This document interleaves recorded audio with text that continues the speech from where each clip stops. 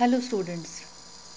Welcome again to online class of science.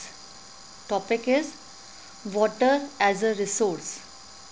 Students, in last video we had done the explanation part of this chapter.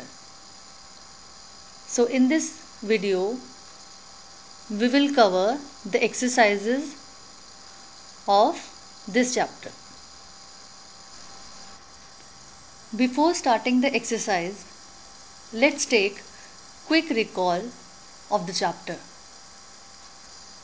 Evaporation takes place faster due to heat, more exposed surface and wind. Condensation is a change of water vapor to water on cooling. The water circulates between the earth and the atmosphere in the form of the water cycle. Drinking dirty or polluted water can make us ill. And we studied that impurities are of two types.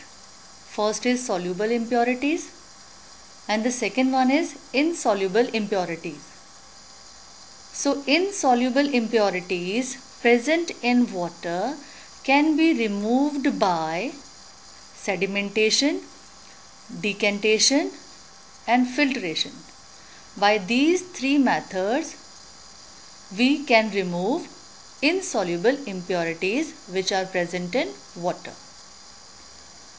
Soluble impurities present in water can be removed by boiling and chlorination boiling kill germs and through chlorination we will add chlorine to the water. And the last is rain water harvesting. It helps to save and recycle water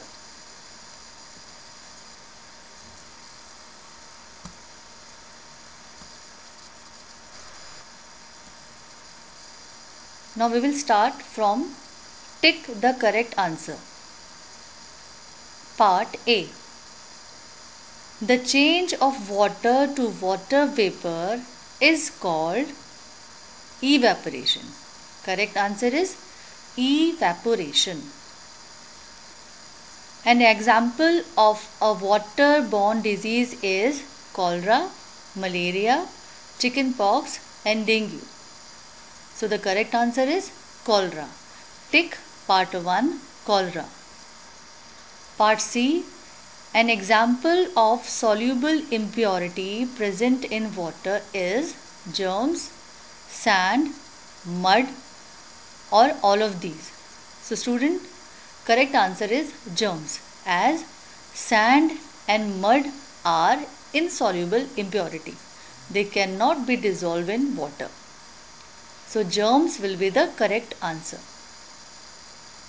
Part D Evaporation is faster when it is hot, windy, exposed area is more or all of them.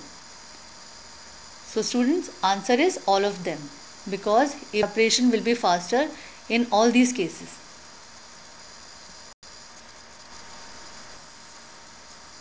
Exercise number 2 is match the following. Part A soluble impurities in water.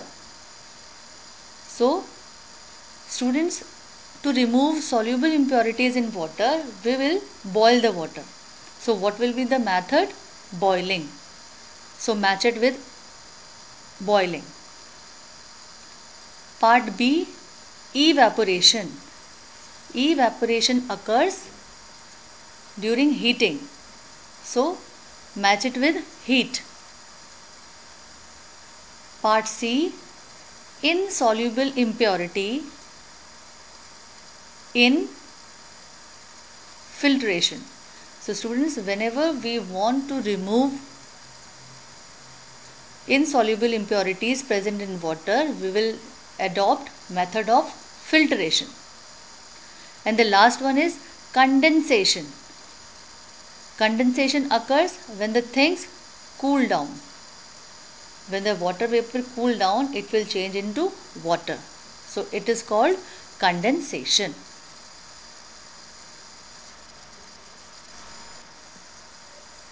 Third is fill in the blanks. Part a. Decantation is done after the process of sedimentation. Answer will be sedimentation part b a candle filter helps to purify water. The answer will be purify. If we want to get pure or clean water, a candle filter will help us. Part C Adding chlorine to drinking water kill germs. If we add chlorine to drinking water, it will kill germs. Part D Water is precious and should not be wasted. Water is very precious to us, so we should try every measure to avoid wasting the water. So students, rest of the exercise we will do in next period. That's all for now. You write this exercise and learn this. Thank you.